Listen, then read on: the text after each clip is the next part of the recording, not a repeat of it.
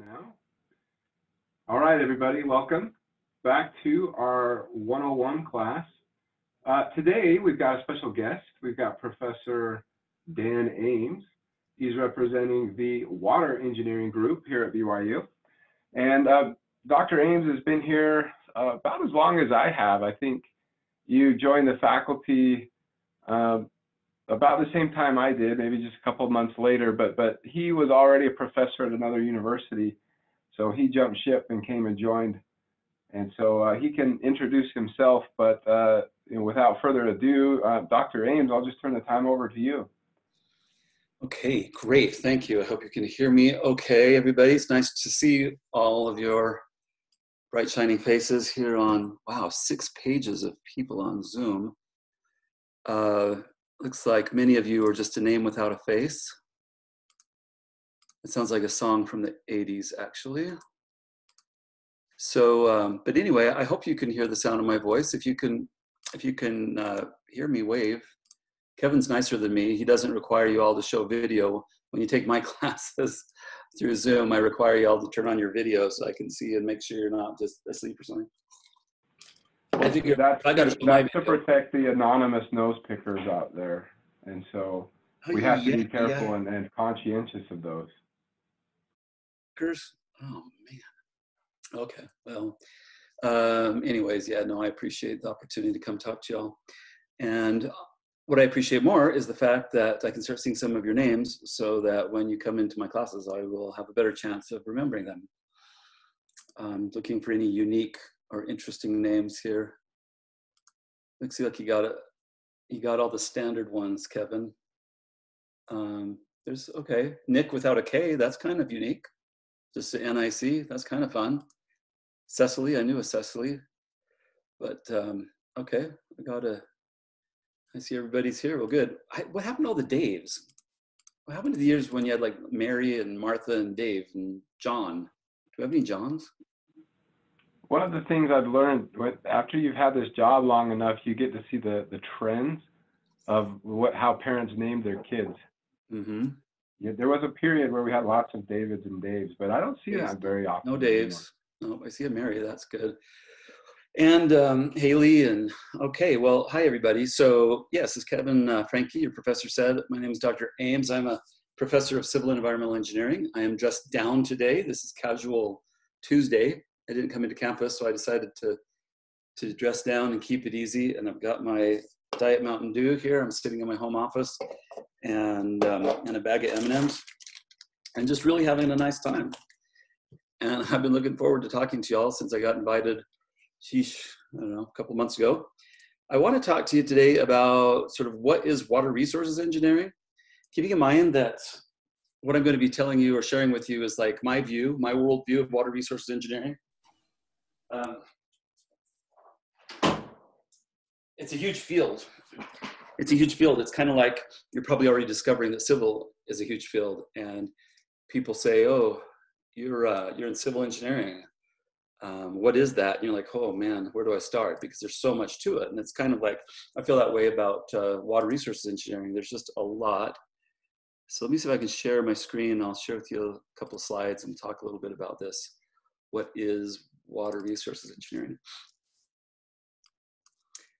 All right.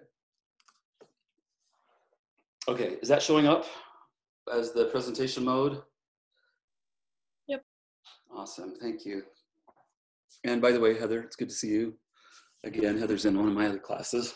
So yeah, I suggest, hi Heather, I suggest you all, she is a quality human being right there. Like if they wanted to select somebody to represent the Society of Women of Civil Engineering.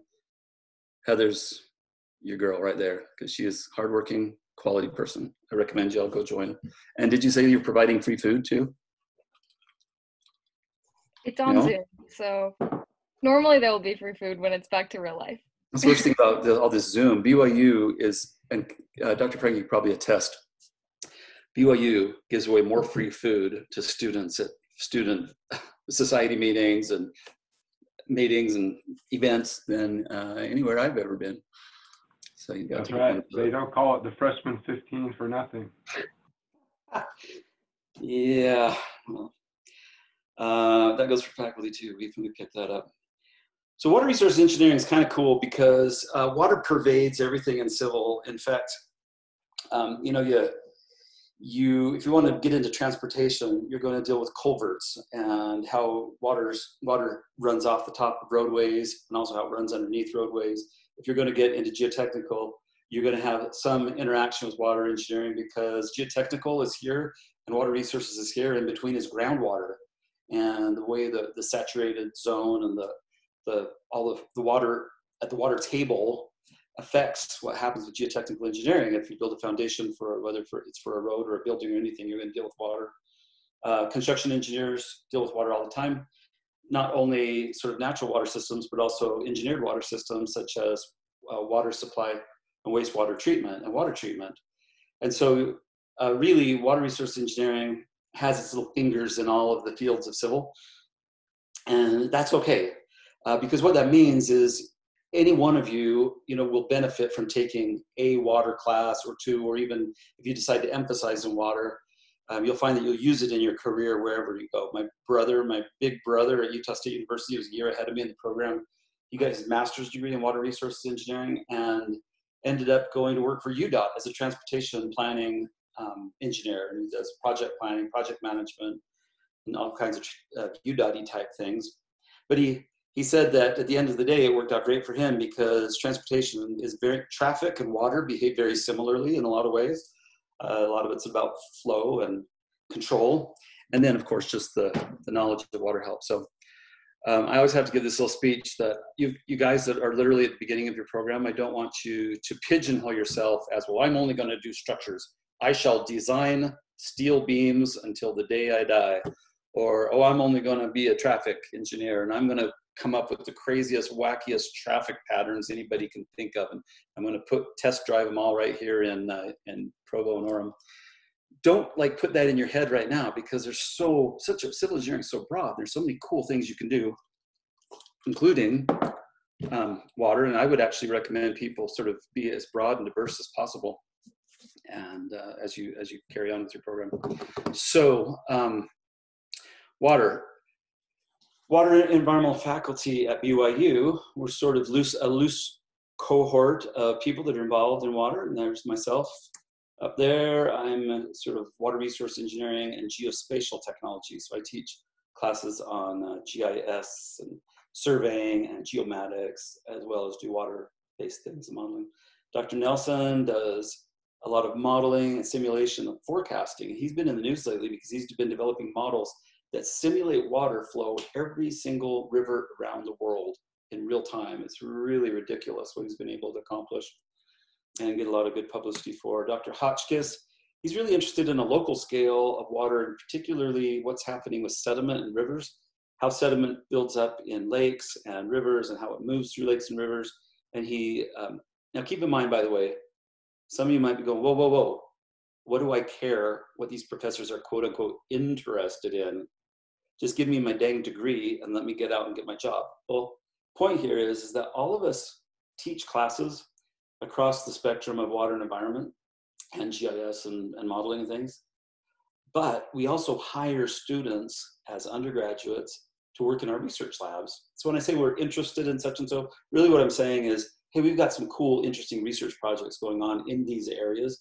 And if you want to do undergraduate research and get paid while you're going to BYU, rather than uh, flipping burgers over at you know wherever, then try to get involved in one of the research groups and research labs. So Dr. Hotchkiss, he hires students, undergraduate students, to study sediment. and Think about. Um, he also does this really cool work where he looks at how uh, little low-head dams, water flows over the top of them. And when I say low-head, meaning it's like a short dam, maybe a meter or two high, and water's just flowing over it, and how people die in those. Um, and if you can re-engineer those, how you can keep people from dying. So that's some of the research he does. Then Dr. Borup, uh, he's one of our environmental engineers. He teaches classes on water quality and, and like wastewater treatment. If you're going to get into construction, you're going to have to deal with water supply and water uh, wastewater treatment. And so he teaches classes on water quality modeling and or not um, water quality treatment for water for drinking water and also for wastewater. Dr. Williams is a professor also on a little bit more on the environmental side. He has a lot of experience with the Army and actually some kind of top secret military stuff. But he also does cool work where he looks at reservoirs and lakes from satellites in space and tries to determine the quality of the water from space. It's really ridiculous how he can do that. I mean, we're basically looking at reflectance and different patterns in the signal of reflectance going back to the satellite. You can sort of tease apart is this got a, does this water have an algal bloom or what kind of um, what kind of water quality problems are going on in that lake? And part of his work is fun too because he takes students out in boats to go paddle around lakes and to check the water quality and then compare it to what they're getting from satellites.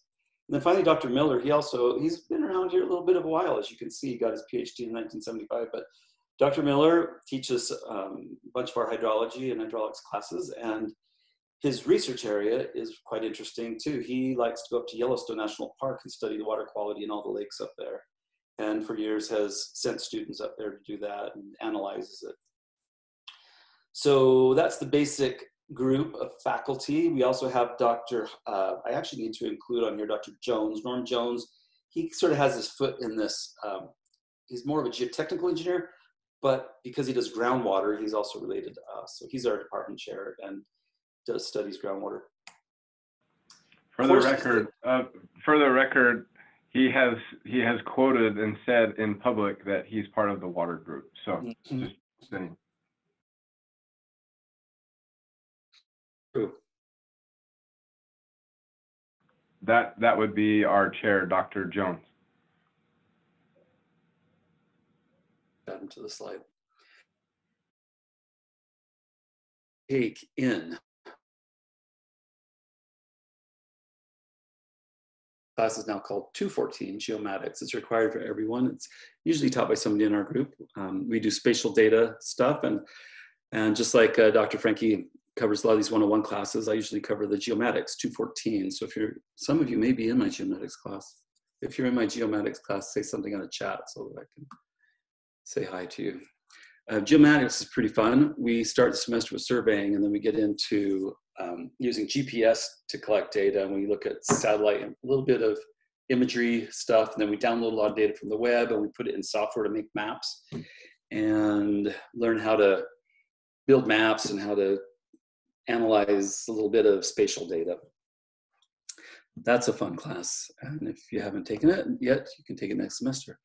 201 is sustainable infrastructure. We also teach out of our group the hydraulics, 414 class. If you're interested in maps, map making, spatial data, and modeling, and all that kind of stuff, or if you want to end up working in one of the research labs like the hydroinformatics lab, the transportation lab, or even Dr. Dr. Franke, um, Dr. Frank's lab, Dr. Schultz's lab, all have benefited from having students that took 414 sooner than later. So that's one you could take um, sort of in your junior year. You could even take it in your sophomore year if you have room for it.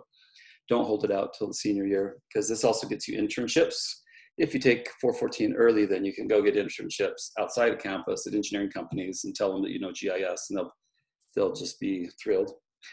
Hydrology, hydraulics. Uh, 439, I'm going to show you some pictures of our water resources study abroad program. And then there's some environmental engineering and a, an advanced GIS programming class and hydroinformatics and some other fun stuff, geoenvironmental engineering. So these are the types of classes that come out of the water group. But you may ask, Dr. Ames, what is water resources engineering? Well, I'm about to answer that for you. Water resources management and engineering is about solving problems to secure water for people. And so we're basically, in a nutshell, we're looking for the right amount of water and quality of water to sustain life and the environment. And so qual- quantity of water, we could have issues related to drought, we could have issues related to flooding.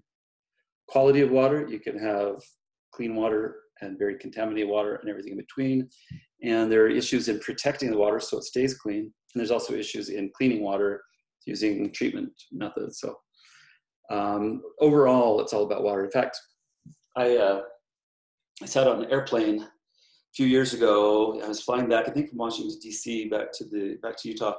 Uh, back when we used to have airplanes and we go on flights to travel to places. I'm using air quotes because I haven't traveled anywhere in months.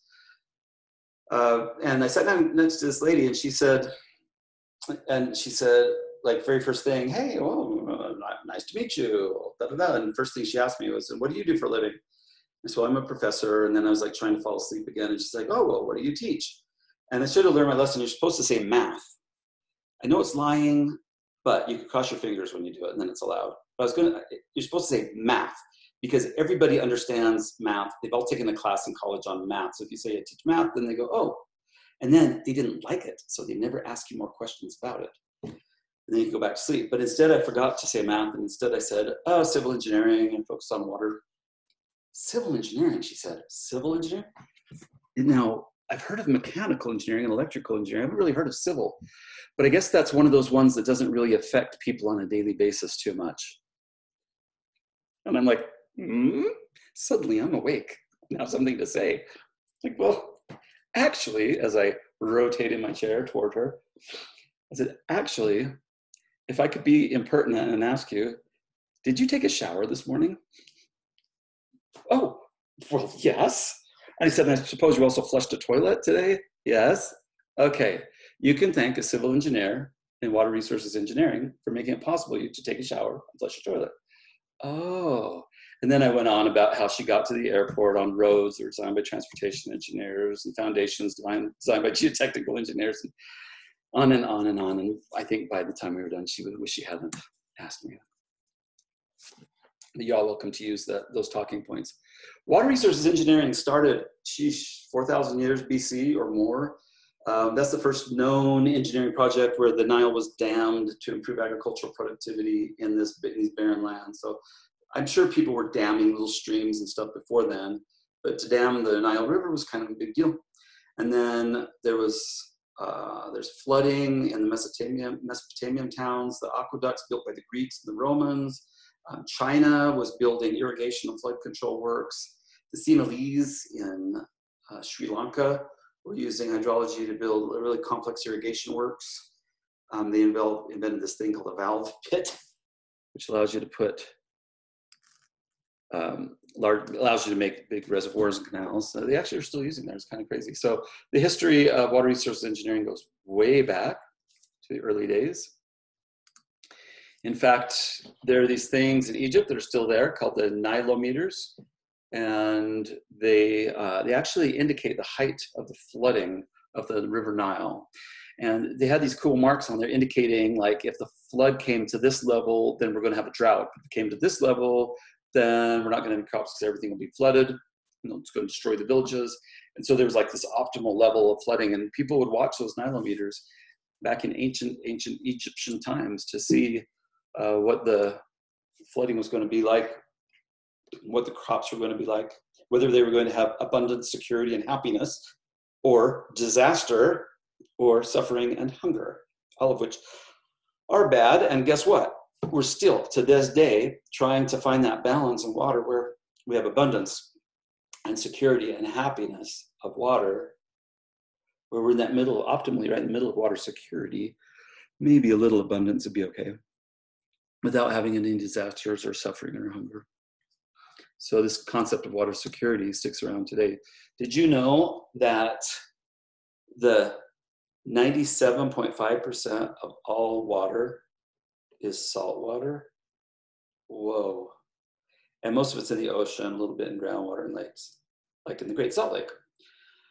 Two and a half percent of all water is fresh water that we can actually drink and that's most of it's like packed up in glaciers and snow and permafrost with some in big chunk in groundwater the amount that's actually in lakes where we can use it or rivers and surface water is actually quite small less than 1% kind of cool look at the rivers 0.006% so that's where the water all sits around the world right now here's a picture of the water cycle hopefully you all saw a picture like this in the fourth grade and maybe it was a little simpler version of it but the same idea that um, they taught you then holds true now, which is nice. Some things are pretty consistent. Snow falls out of clouds and rain falls out of clouds. And then it runs down through the landscape in the forms of these little streams and rivers through surface runoff. Some of the water infiltrates into the soil. Some of it percolates back up out of the soil. Some of the water just makes the soil wet and you have soil moisture. You have dry soil. Uh, as the water I see a hand, so let me finish this one sentence and I'll call on you, Brooklyn. Um, as that water makes it down low into the soil, it starts filling up the water table that you're familiar with. Some of that leaks back out into rivers and goes into oceans. You have evaporation. It's the whole cycle that you are familiar with from Mrs. Smith, your fourth grade teacher. Um, Brooklyn, so I saw Zoom said a hand was raised, and it looks like it was you. Do you have, do you have a question? I see a hand from a Robert Smith. Okay.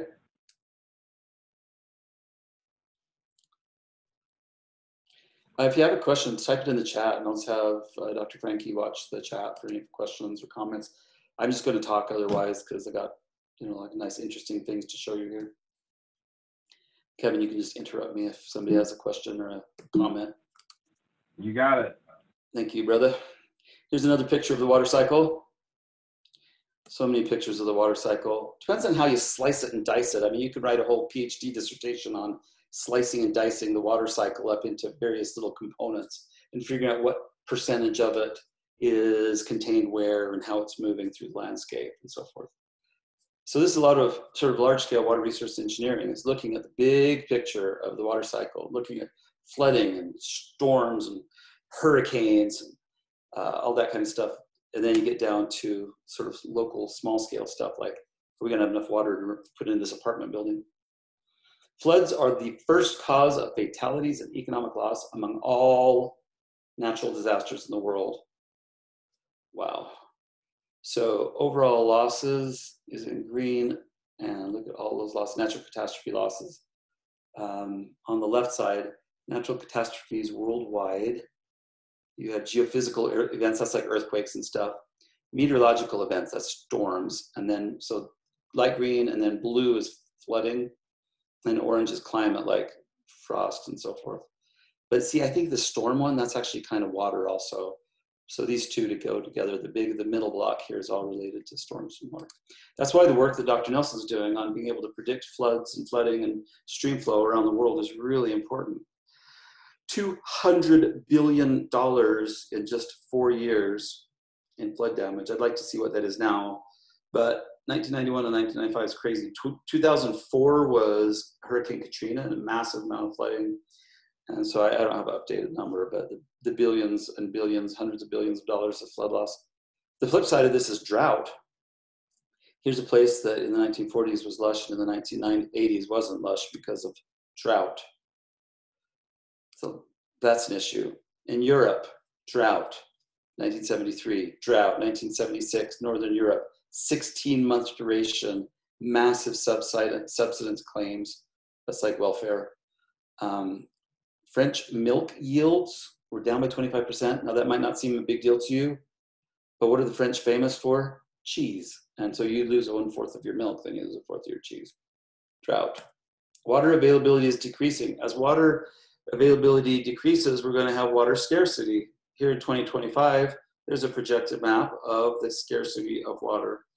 Now, this is going to be interesting to see because this was projected back in the year 2000. We're only five years away from 2025 right now. It'll be interesting to see how much scarcity there really is in these places, but physical water scarcity will always be in the Middle East and in Northern China.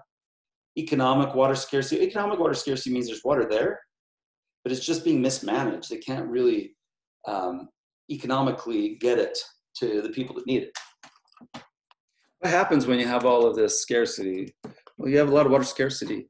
It means like this little girl right here has to walk far with a thing and a bucket and a, and a wheelbarrow thing to go pick up water. And by the way, Society of Civil Engineering Women, this is something that affects women disproportionately than men throughout the world because in these underdeveloped and developing countries, it's, it's been multiple studies have shown that it's always the women in the villages that are the ones that are walking the mile or the two miles with a uh, with some kind of device like this to go get water. So it's sort of a it is disproportionately affecting them, and it's um, gender, it's a real gender inequality issue when you have water scarcity, which is a shame. Makes it even worse. In the high income countries like the United States, we use over up to 600 liters per person per day. You're thinking, wait a second, I can barely get my 32 ounces a day. My 64 ounces of water a day I'm supposed to get for uh, for health purposes. Well, yeah, but this is taking into account you're flushing the toilet, you're taking a long shower, you're sitting in a hot tub, you're using things that are created with water, so you are consuming up to that much water, 600 liters, whether you know it or not. Low income countries use between 50 and 100 liters per day. If you don't believe that, then just take yourself on a mental camping trip. And in a trailer, like by the summer, I took my little uh, camper up in the mountains out here outside of Lehi, and we camped for a few days. And I had everybody rationing the water from the little water pump because it has water inside the trailer. And I'm like, yeah, make sure you turn the water off when you're not, you know, wash your hands and then turn it back on to rinse and turn it off again. You can get by with 50 to 100 liters if you're rationing like they do in low income countries. In very water scarce countries, they're getting by on 10 to 40 liters per person per day.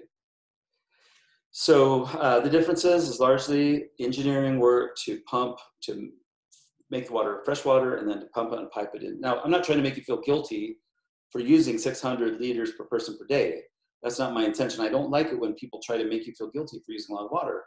Use water, it's great. I think I'm a believer in metering. I hate paying my water bill, but I believe in metering. I think that cities should meter the amount of water that people are using. And if people want to use more water, fine, charge them for it. And it's like if the guy wants to sit out there and wash his car and, and leave the hose running for five hours, you know, while he does it, it doesn't bug me as long as he's willing to pay the water bill. So that's why I say you shouldn't feel guilty about using a bunch of water.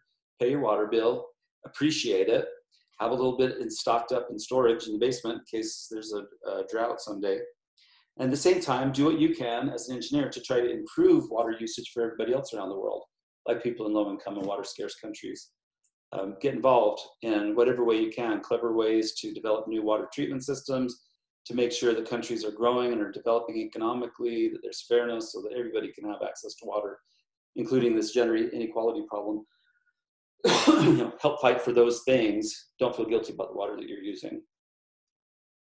Use it. It's kind of like when I was in, in uh, Scouts. I always hated it when they would do like there's always the scoutmaster. It was the one scoutmaster who would always come around, usually an assistant scoutmaster, and the kids would be making a big old fire, and he'd come up and he'd say, you know, some stupid, semi-racist, almost sounding thing like "white man make big fire, stand far back."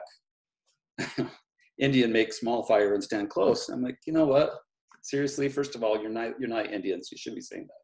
Secondly, we got a big pile of wood here. We got to burn. Let us burn the wood.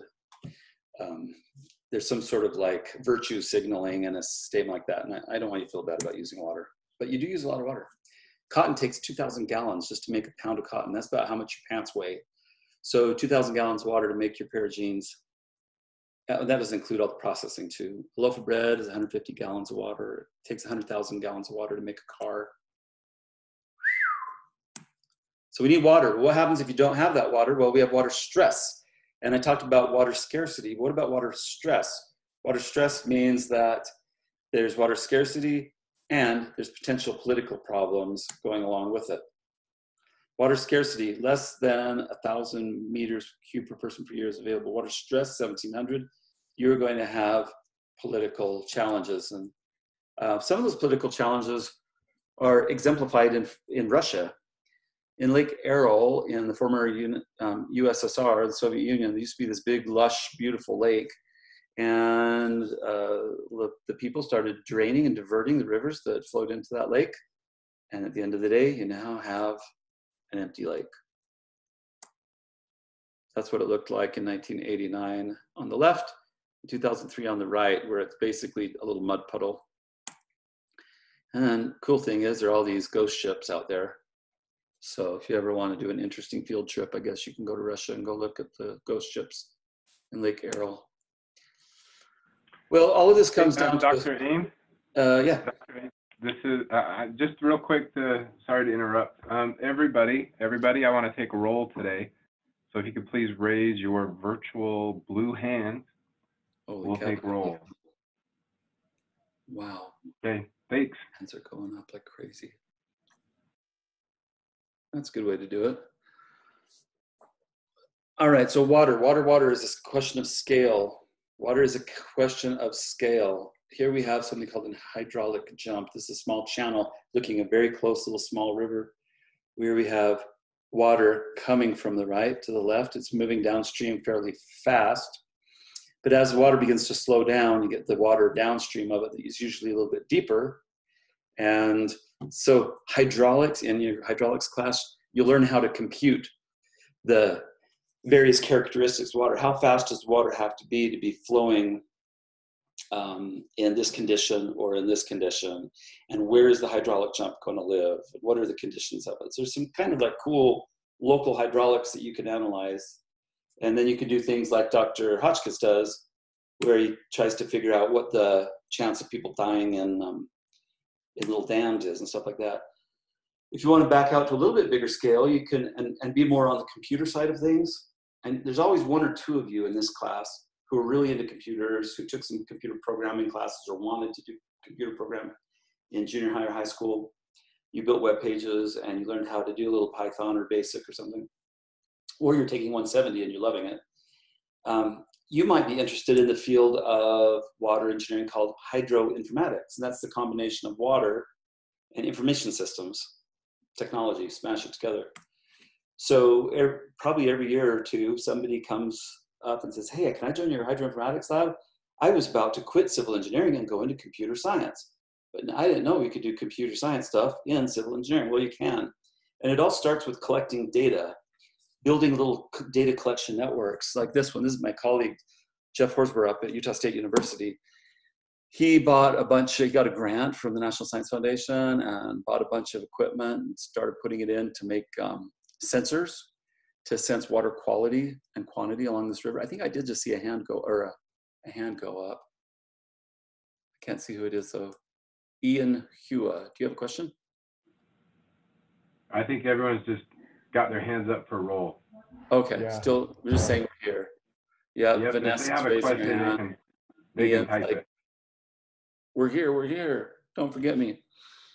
So when Jeff started putting in all this equipment, he built little radio sensors in there and he could transmit the water quality and the water information from that sensor to a central tower.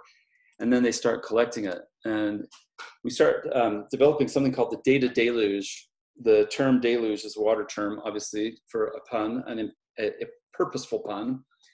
A data deluge is what happens when you collect water measurements with a little sensor out in the river like this is measuring flow in cubic feet per second in a river channel and it looks like over one day he's measuring the flow 48 different times to see how fast how much water is flowing down the channel at the little bear river at Mendon road near Mendon, utah in a week he gets 336 observations and he gets a lot more in a year 17000 observations. So the, the field of hydroinformatics is how do you collect this data and then what do you do with it and how can you make sense of it?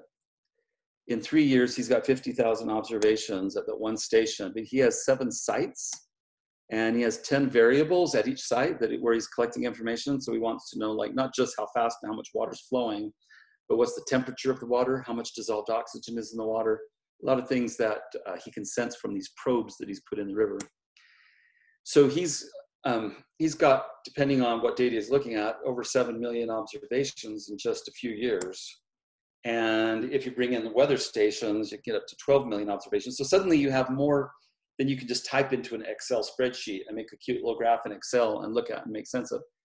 So that's where we have to start building databases and using cloud computing and using machine learning and artificial neural networks to analyze the data, try to make sense of it and determine um, basically determine you know what's going on in the river and if there's a problem, if we're going to be flooding, if we're going to have water quality issues, etc.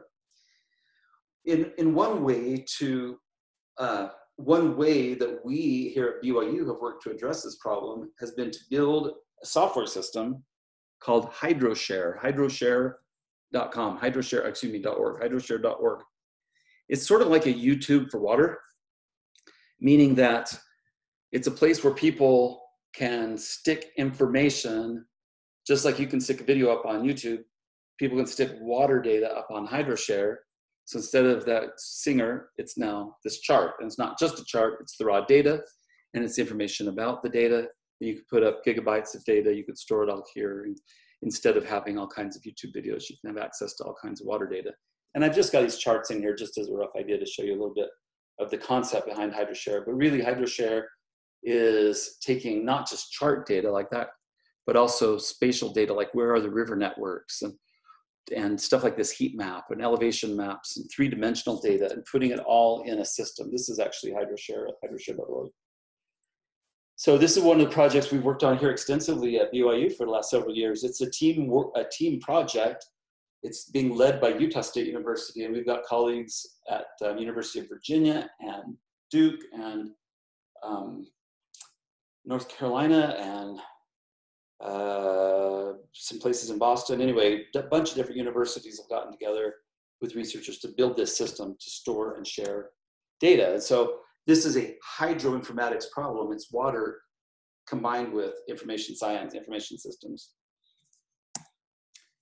Um, another cool thing we do in the Water Resources Group here at BYU is we try to host a study abroad program every year as a capstone senior project for people. So 2019, 21, 23, in odd numbered years, we're taking groups of students to the Dominican Republic and then in even numbered years, we take groups of students to the Netherlands. And you may ask, you should be asking this right now, actually, Dr. Ames, why the Dominican Republic and the Netherlands? What's so special about those two countries? The answer is um, nothing's particularly special. I mean, they're cool countries. Uh, Dr. Nelson served his mission in the Dominican Republic, and I have a bunch of colleagues and, and uh, people I work with and do research with in the Netherlands. But what's really cool about these two places is they create this interesting like yin and yang or a dichotomy of water, where in the Dominican Republic, it's a developing country where water is very scarce. Water management and information and modeling and so forth is, is not very advanced. And so we send BYU students to the DR to teach them about better water management. In the Netherlands, the Netherlands is has for a thousand plus years been the leaders in water resources management, building dams and dikes. And if without water management, about two thirds of their country is actually at or below sea level. So some of the best water engineering schools and best water engineering methods come out of the Netherlands. So we go to the Netherlands in even number of years to learn about water engineering. Either way, it makes for a fun study abroad. Here's the Netherlands, the place where a bridge is built so the river can cross the street. That is true. This is a place where the street goes underneath the river. Love it. Um, this is just a group of our study abroad group that went to the Netherlands a few years ago.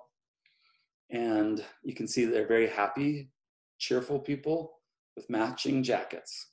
And the sign says, I Amsterdam.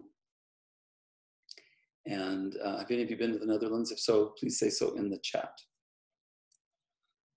Then on the, oh, and then they also when we're studying water, we always dress like this.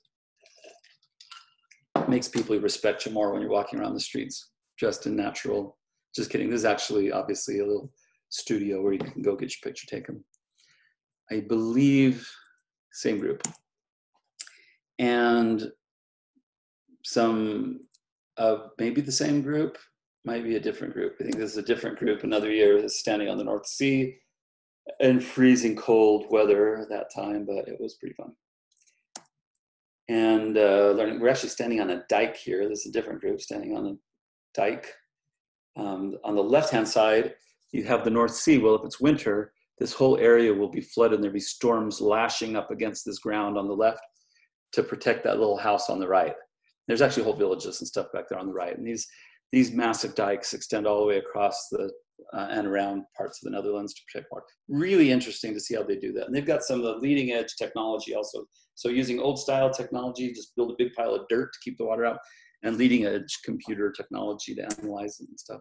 Here we are inside a massive dam or a ridge actually. And uh, also having some fun. I'm telling you all this because you can maybe start planning ahead and plan to go on a study abroad program for your capstone and that's my daughter on the far right there, the cute little one.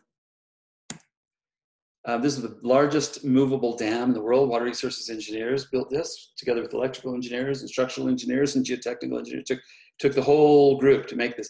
Each one of those arms, do you guys see that? Okay, this is a this is seriously a turn off uh, Facebook and Instagram moment because look, look over here at what I'm showing you.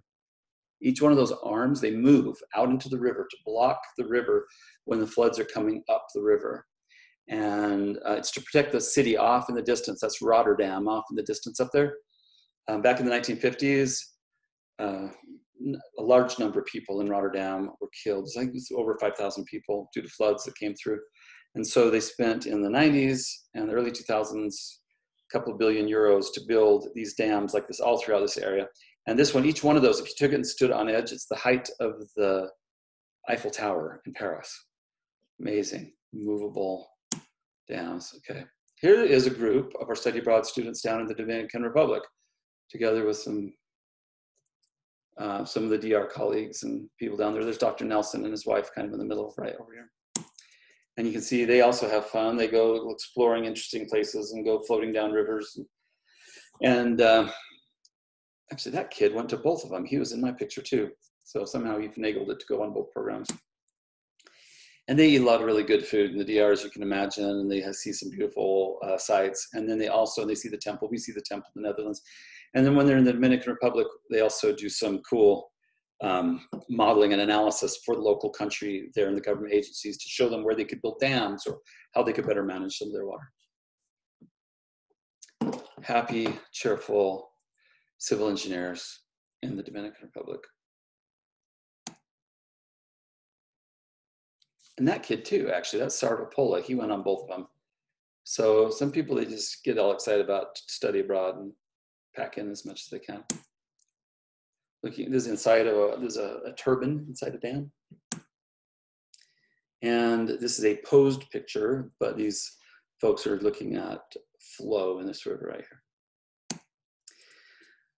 So that's just a really brief, kind of quick and sudden overview of water resources engineering. I would love to take the last two or three minutes and answer any questions any of you may have.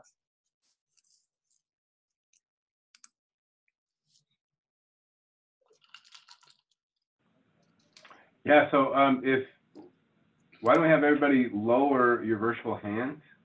And if you have questions, um, then you can raise your virtual hands.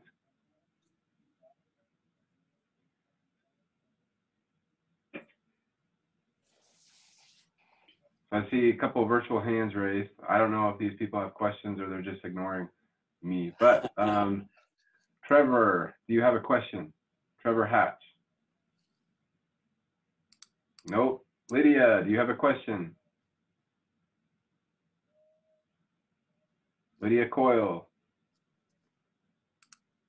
Nope. How about Rebecca?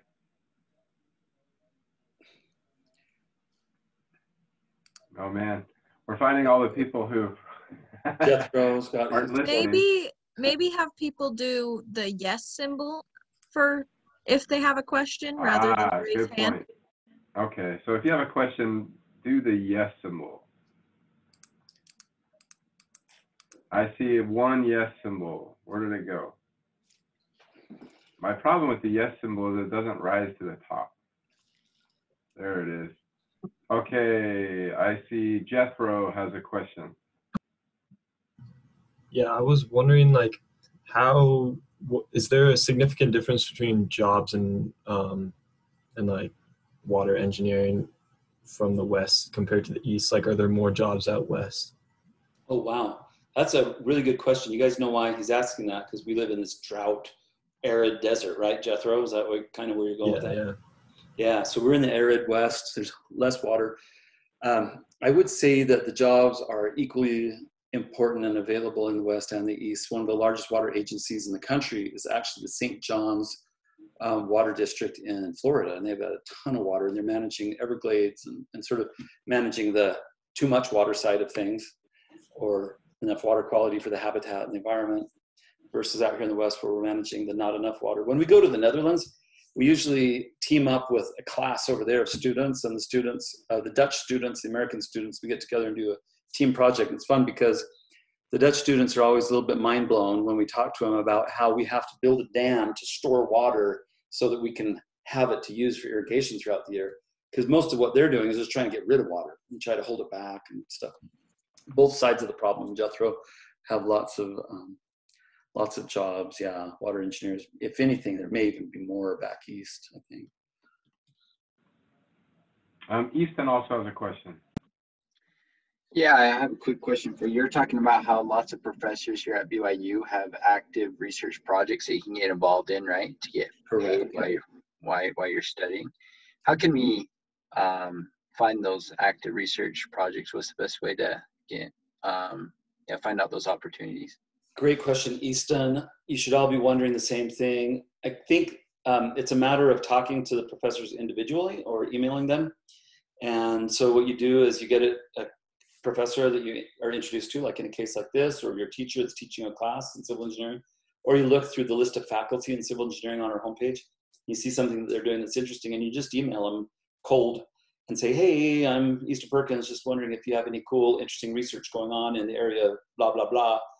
Um, I would, or if you're taking on any undergrad research assistants, because I would love more than life itself to come and work for you. And when we get emails like that, oftentimes we, we pick up students pretty quick. Um, so pretty much all the faculty hire some students and some hire more than others. And by the way, secret, secret, secret, for those of you who are still paying attention and listening, secret insider information that freshmen don't always know your professors don't spend all their spare time just grading papers. Like really, that's what I used to think when I was a freshman. Like they come teach my class and then they go grade their papers. But in engineering, we're not doing that. Maybe they do that in English and math. But what we're doing is we're teaching our class, and then we're going off and doing these really cool research projects on the rest of our time. You should see some of the stuff that Dr. Franke does. It's just like awesome, mind blowing, fun, interesting stuff with drones, data, and visualizations and analysis, earthquakes, and so forth your professors all have secret lives that they're leading and they have hired students to work with them to do that kind of work. And really yes secret lives. And so somebody says franke is pretty epic. It's true. He really is. And so the to answer your question easton it's really just about you putting in the energy to read read up on what they're doing find out what they're doing and then go and talk to them and say, hey, Dr. Jones, I understand you're building water modeling um, models to simulate the water flow in Africa right now on a cool project. I just saw it on your webpage. Um, can I come and talk to you about it sometime? Would you hire an undergraduate to process data for you this summer or this fall? And is is it best just to follow up on that question? Is it best to wait until you're kind of a junior getting into those classes and get experience, or no, not at all. Our favorites our, our best i mean in some cases yeah but for the most part like if a good energetic enthusiastic hardworking student um, comes up as a freshman and or sophomore and wants to work they'll find a job they'll find a, a team to work in. Now they might be volunteer working part of their hours at the beginning you know there might be or it might be yeah i got five hours a week for you right now but once you learn A, B, and C, boy, then next semester we can put you in at 10 or 15 hours a week and actually pay you or something. So, okay, perfect. Yeah. Okay. Great questions. Well, everybody, let's thank Dr. Ames for coming and, and talking to us about water engineering today.